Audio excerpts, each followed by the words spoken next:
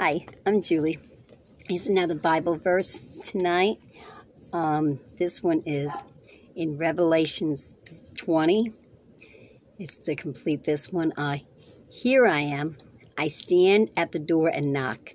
If anyone hears my voice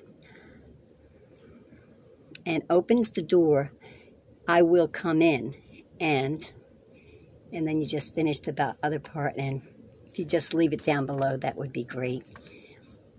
And then if you have any questions just please feel free to ask and all. Um, I'm going to do a few more things with Bible Life tonight but not on this one. So I'll check see you again. Bye bye God bless. Bye